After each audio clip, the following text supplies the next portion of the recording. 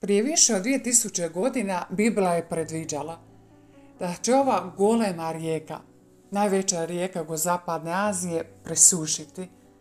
Te kada se to dogodi, dogodit će se nešto strašno. Biblija kaže Šest izli svoju čašu na Eufrat, rijeku veliku, i presahnu voda, te načini prolaz kraljima s istoka sunčeva. Dakle, Biblija nam u otkrivenju 16.12. otkriva drugi će anđeo isušiti rijeku kako bi se pripravio put kraljevima s istoka. Ti se događaju događaju neposredno prije Kristova povratka da pokori svoje neprijatelje i uspostavi svoje kraljestvo na zemlji. Otkrivenje 17.19. A znate li što se upravo događa? Rijeka Eufrat je presušena. Najnovije slike pokazuju da su se vode rijeke Eufrat značajno smanjile. Slike snimljene na obalama Eufrata otkrivaju kako je veliki dio rijeke Eufrat presušio. Eufrat presušuje, objavljuju mediji. Smanjenje Eufrata rijeke koja je toliko ključna za rađanje civilizacije da je knjiga otkrivenja prorekla njezino presušivanje kao znak posljednjih vremena. U otkrivenju 9 i 16 nalazimo gdje govori šestom anđelu koji imao trubu. Odveži četiri anđela koji su svezani kod rijeke Velike Eufrata i bili su odvezana četiri anđela koji bijahu pripravljeni na sad dan, mjesec i godinu da pobiju trećinu ljudi. I broj vojske na konjima bjaše 20.000 puta 10.000, čuo sam broj njihova. Biblija nam govori kada Eufrat presuši, kako će vojska početi marširati sa istoka.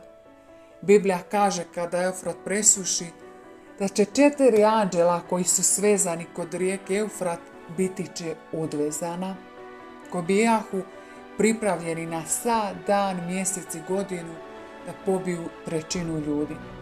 Ta četiri anđela radi se o palim anđelima. Također postoji snimka koju su neki ljudi snimili kod rijeke Eufrat iz koje se jasno čuje da dolaze čudni zvukovi. A četiri anđela kada budu puštena da će trećina stanovništva tada biti uništena. Ova rijeka sigurno čuva mnoge duhovne tajne. To je proroštvo za koje se mnogi pite ovih dana ostvaruje li se.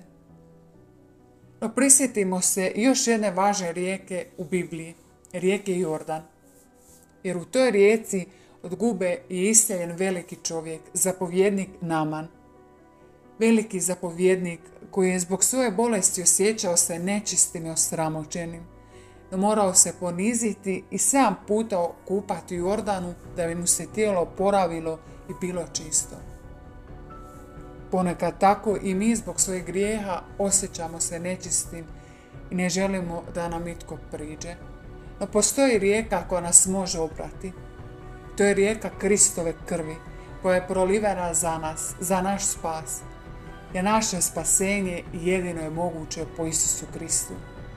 Grijeh je jedina stvar koja nas uništava, uništava naše živote, naše odnose i vodi nas u pakao. Mnogi ljudi misle da se mogu nositi sami sa svojim problemom, sa svojim grijehom. Misle, samo ako budem dobra osoba, ići ću raj. Ali jedini način da budeš spašen je da zaroniš u rijeku milosrđe oproštenja Isusa Krista. Biblija nam kaže, plaća za grijeh je smrt ali dar od Boga je život vječni u Kristu Isusu našem gospodinu. Okupaj se i bit ćeš čist. Tada siđe i umoći se sedam puta u Jordan prema riječima čovjeka Božeg i tijelom opet posta kao tijelo malog djeteta i bijaše čist. Kao što primamo plaću za rad, tako primamo i plaću za grijeh, a to je smrt. No Isus je platio cijenu i to je jedini način da nam bude oprošteno da se riješimo grijeha, u istinu Krist je jedini put, istina i život. Dođi k njemu da i ti bude ti oprošteno i da budeš spašen.